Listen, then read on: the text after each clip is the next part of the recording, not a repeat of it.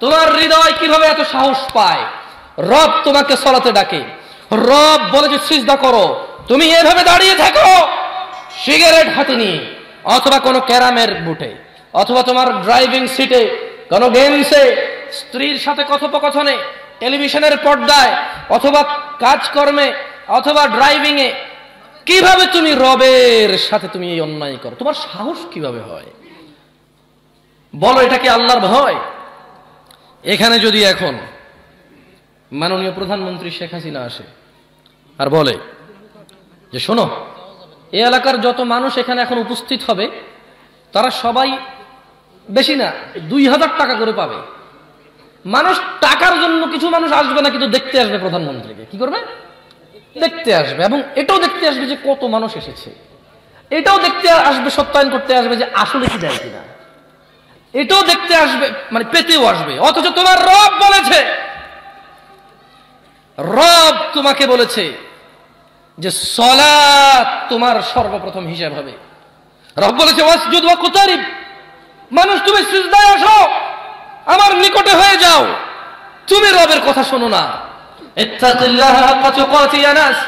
বেতুয়ার পুরুষ এবং মহিলা, ধনী এবং গরিব, সুস্থ এবং অসুস্থ আল্লাহকে ভয় করো।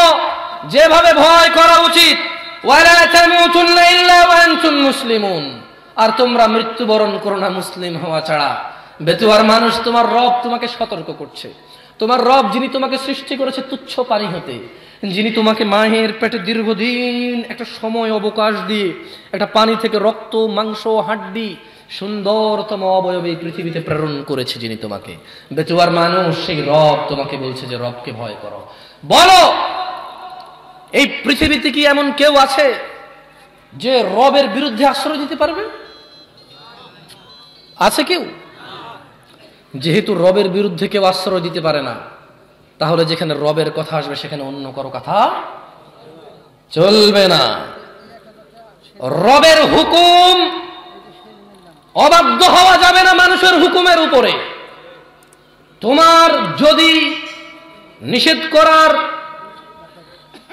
যদি তোমার, মাশাআল্লাহ, তুমি নিষেধ করতে পারতেছো, তোমার অতটুকু এখানে ভ্যালু আছে, তুমি করো।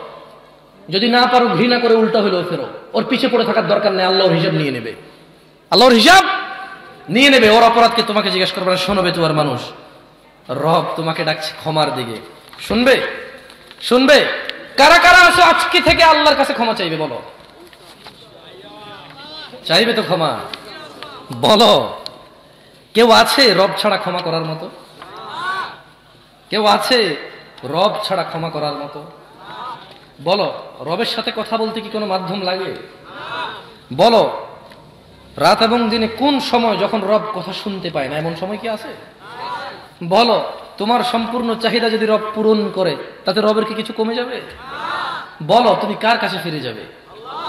কে তোমার হিসাব রাখবে? রব যদি চায় তোমাকে ক্ষমা করতে পারে কিনা? কাকে ভালোবাসবে? কার কথা মানবে? মানুষ আল্লাহকে ভয় করো, যতটুকু তোমাকে আল্লাহ সাধ্য দিয়েছে সাধ্যর ভিতরে থেকে। আমি তো এটাই বলি, তোমরা ভুল বুঝো। তোমরা মনে করো আমি সরকারের দালাল। তোমরা এরকম মনে করো যে আমি ওয়াহাবিল আমাদের কি কি তোমরা বলো? সত্যি বলতে আমি সৌদি আরবে বড় হয়েছি এদেশে আসার নামও শুনিনি এগুলার। আল্লাহ সাক্ষী, আমি নামও শুনিনি। ও আল্লাহ আমি নামই শুনি আমি মুয়াজ্জেন ছিলাম ছোটবেলা থেকে বিদেশে কাউকে বলা হয়নি এই কথা আমার।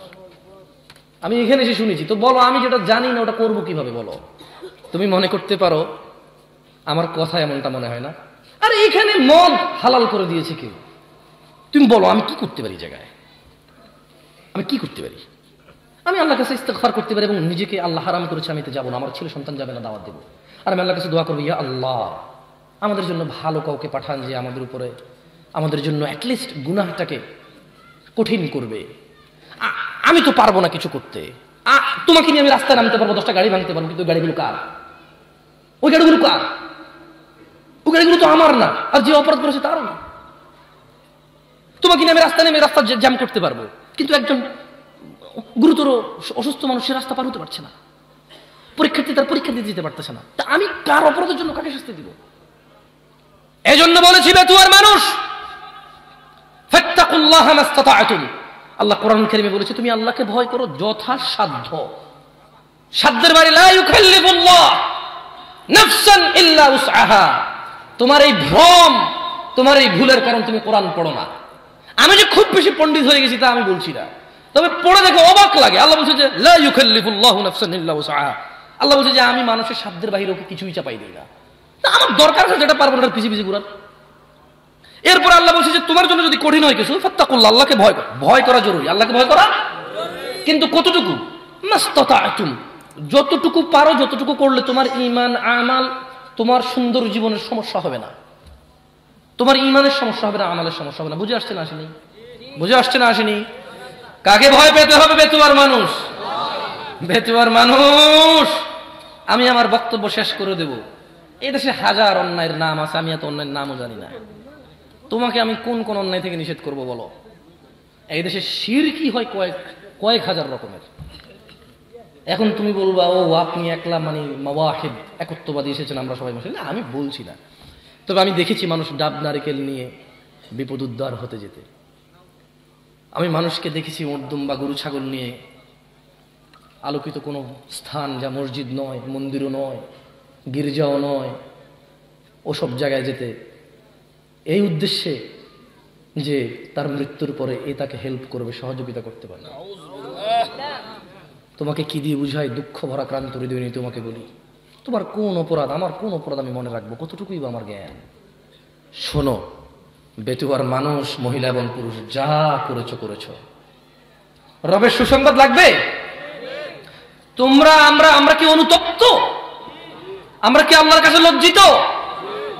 তাহলে খুশি হয়ে যাও বেতুয়ার মানুষ। অপরাধ অপরাধ। কিন্তু তোমার রবের গুসাকে তোমার অপরাধ ছাড়িয়ে যেতে পারবে না। তোমার রবের রহমতকে তোমার অপরাধ ছাড়িয়ে যেতে পারবে না, তোমার রব আরও দয়া তুমি কত অপরাধ করবে? তুমি কত অপরাধ করবে মানুষ? তোমার রবের দয়াকে ছাড়িয়ে দিতে পারবে না, তোমার অপরাধ। রব আরও দয়ালু রব তোমাকে ডাকছে, ওয়াসারিউ ইলা মাগফিরাতিন মির রাব্বিকুম ওয়া জান্নাতিন আরদুহা আস-সামাওয়াতু ওয়াল আরদ। আর তোমরা দ্রুত গতিতে আল্লাহর ক্ষমার দিকে আসো। জানাখোর জানা ছেড়ে দাও। মদখোর মদ ছেড়ে দাও। তুমি কখনো ভুলেও এই অন্যায়টা করো না। পৃথিবীর কোনো অপরাধ যাতে তোমার দ্বারা এস্টাবলিশ না হয়। তুমি চলে যাবে, এই অপরাধ যতদিন থাকবে তোমার গুণা হবে। মনে রাখবে মানুষ, যা করেছ করেছ। অপরাধীকে সহযোগিতা করো না। মানুষ, তুমি আমার কথা ভুলভাবে নিও না, আমি মন থেকে তোমাকে বলছি। তুমি যা করেছ তুমি আর তোমার রবের মধ্যে এই পুরো পৃথিবীর মানুষ কেউ আসতে পারবে না, তোমার রব আর তুমি। তিনি চাইলে তোমাকে জান্নাতুল ফেরদাউস দিতে পারে, চাইলে তোমাকে জাহান্নাম দিতে পারে। কিন্তু তুমি আর তোমার রবের মধ্যে ওখানে কেউ নেই। বেতুয়ার মানুষ, শোনো। রব বলছে, তোমরা দ্রুত গতিতে চলে তোমাদের রবের দিকে আসো। তোমাদের রবের ক্ষমার দিকে আসো এবং জান্নাতের দিকে আসো, যার বিস্তৃতি আসমান এবং জমিনের মতো। বেতুয়ার মানুষ রব তোমাকে ডাকছে, যাবে। রবের দিকে যাবে। যেমনটা একজন নবী বলেছিল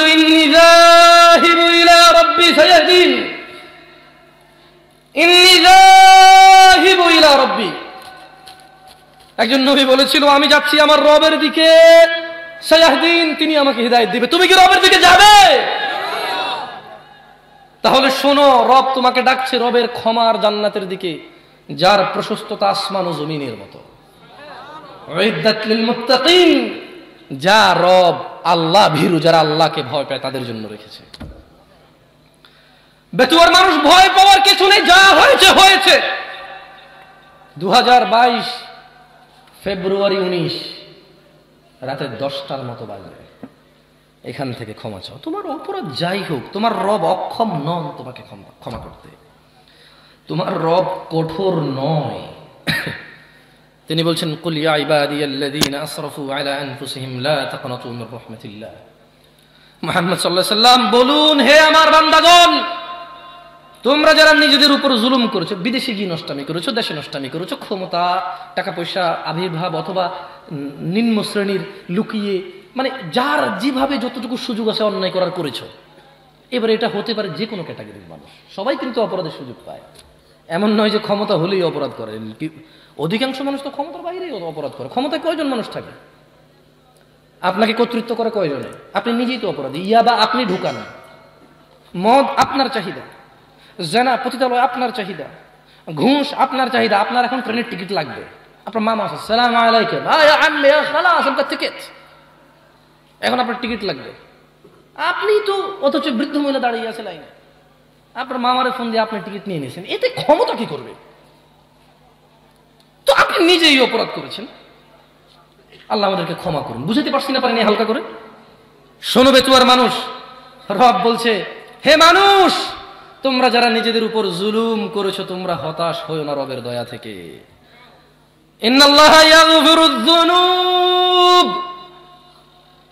আল্লাহ ক্ষমা করে দেবে তোমাদের অপরাধ। কয়টা অপরাধ? যত অপরাধ আছে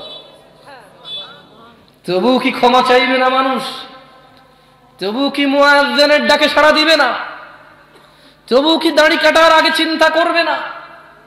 তবু কি তোমার প্যান্ট, পাজামা পরার আগে কোথায় পড়ে আছে সেটা দেখবে না? তবু কি মানুষ মানুষের উপরে জুলুম অত্যাচার করা থেকে বিরত হবে না?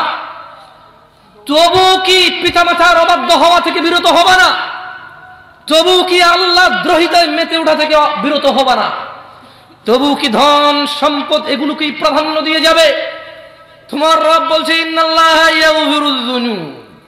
ক্ষমা চাও। কারা কারা আগামীকাল পর্যন্ত বাঁচবে? হাত তোলো তো আমি বাঁচবো কিনা আমি জানি না, আমি তুললাম না।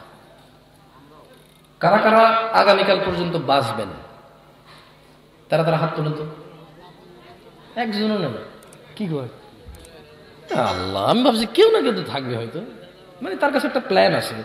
দু হাজার থার্টির মধ্যে কোম্পানিটা স্টাবলিশ হবে, বিয়েটা করব, বিদেশ যাব, ঘরটা হবে, রাস্তা হবে, অমুকের মেয়েকে প্রস্তাব দিলে রাজি হবে, অপেক্ষা করো। মানে একটা প্ল্যান আছে। না প্ল্যান করা হারাম কিছু না, করতেই পারে মানুষ, আল্লাহর উপর ভরসা করে। বৈধতা আছে। কিন্তু তুমি রবের এত দয়া থেকে বঞ্চিত হতে চাচ্ছ? মানুষ, শুনো! আল্লাহকে ভয় করো। তিনি কে জানো?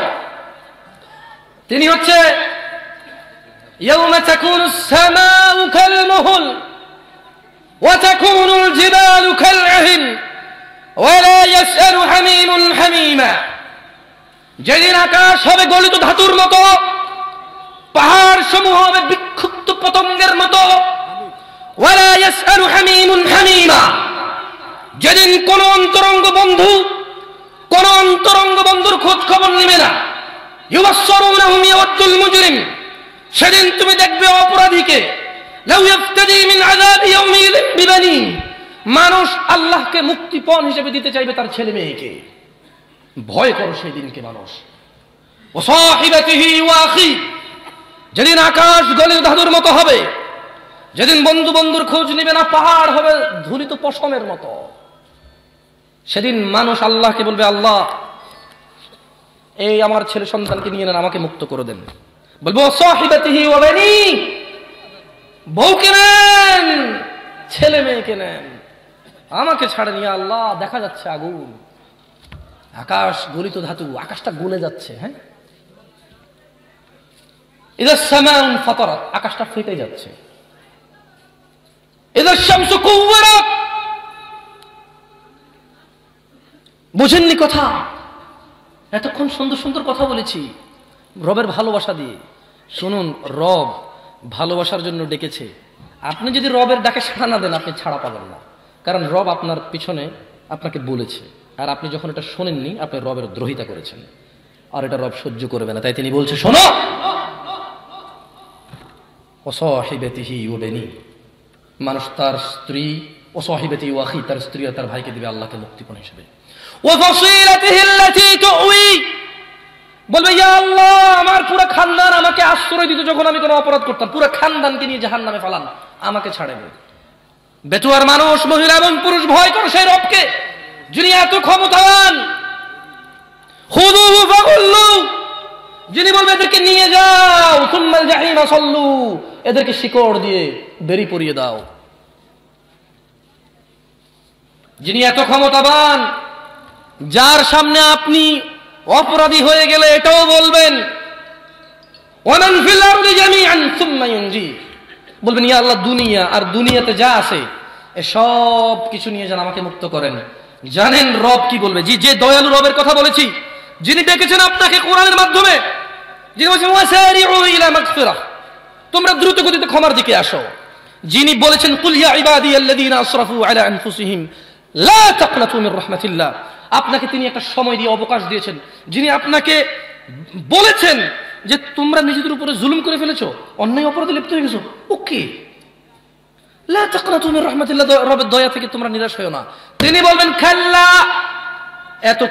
ক্ষমার দিকে ডাকার পরে যখন রবের দিকে যাবেন না, রব বলবে, খাল্লা!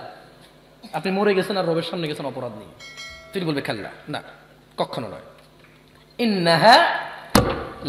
এটা আগুন এটা মানুষের মাথার চামড়া খসে দেবে।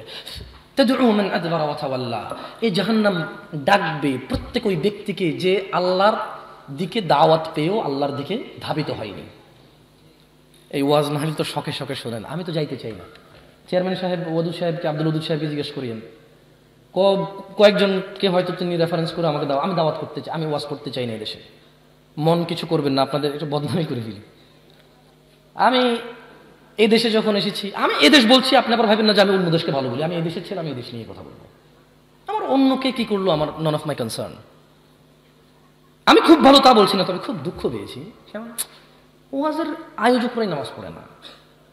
মানে এই লোক যে আল্লাহ এখন বলবেন যে জামশেদ ভাই, নামাজ না পড়লে কি আমি আল্লাহকে ভয় পাই না? আরে আল্লাহ বলছে তুমি মুশরিক, আমার জিগাও কে? আল্লাহর জিগা তুমি আল্লাহর ভয় পাও কিনা আল্লাহ কি বলে? দেখো, আল্লাহর ব্যাপার তোমার ব্যাপার, আল্লাহ স্পষ্ট বলে দিয়েছে।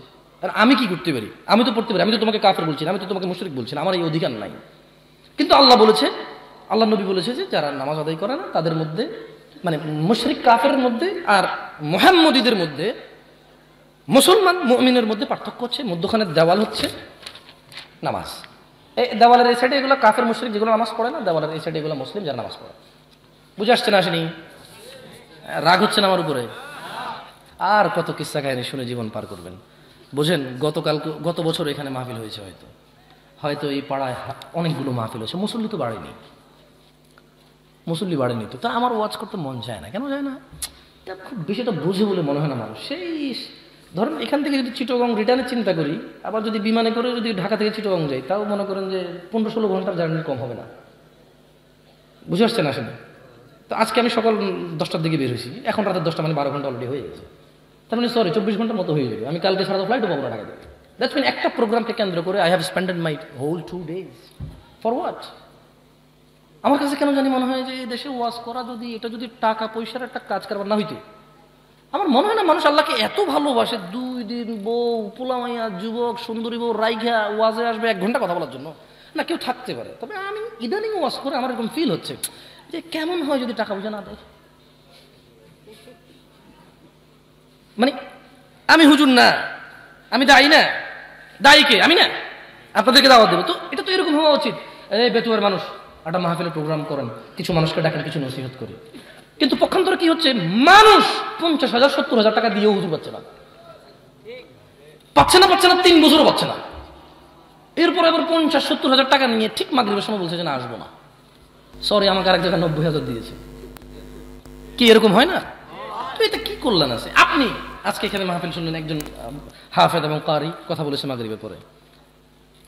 রাসেল সাহেব আমি যদিও ওনার টাইটেলটা পুরো মনে নেই সম্মানী মানুষ আপনাদের আপনারা যেভাবে ওনাকে শ্রদ্ধা করেছেন সম্মান করেছেন আল্লাহ ওনার শ্রদ্ধা অনুযায়ী ওনাকে দিনের পথে রাখার চেষ্টা তৌফিক দান করুন। তিনি যাতে আপনাদের সামনে যতটা মানে সম্মানিত আল্লাহ যাতে ওনাকে অতটাই ভালোবাসে তিনি সেই পথে পরিচালিত হন। বা আপনারা যারা এখানে আছেন মান্যগণ্য লোকজন আল্লাহ আমার আমাকেও আল্লাহর ভালোবাসার পাত্রের অন্তর্ভুক্ত করুন আমিন। কিন্তু আমি যেটা বলছিলাম আপনাদেরকে সেটা হচ্ছে মানে এখানে মাহফিল শুনলেন আপনি। আল্লাহ বলছে যে তাওয়াল্লা। জাহান্নাম ডাকবে ওই মানুষকে। যে সত্য কথা শুনেছে, কিন্তু এটাকে পরোয়া করেনি। এটা শুনেছে বা শুনেছে। আপনি দেখেন। আপনি দেখেন। আপনাকে আমি দাড়ি রাখতে বলি, আমারটা বলা উচিত না, আমার মনে হয়। কারণ যে লোক শিরিক করে, ওর কিসের দাড়ি, কিসের চলা এখানে আল্লাহ স্পষ্ট ভাষায় বলছে যে ইয়াগফির আল্লাহ ক্ষমা করবে না। আইন সরাকাবি একজন লোকের দাড়ি কি, সলাৎ কি জাকাত কি, হজ কি, সে যদি আল্লাহর সাথে শিরিক করে। তো ওই জন্য আমার মাথা কাজ করতেছিল না যে কীভাবে ওয়াজ মাহফিল করা এখানে। ওয়াজ করলে আপনাকে বলতে হবে, আল্লাহর নহবি নবী গো। এভাবে করলে আপনার ভালো লাগে। তিন ঘণ্টা বসে ও একটা হুজুরে আনছে।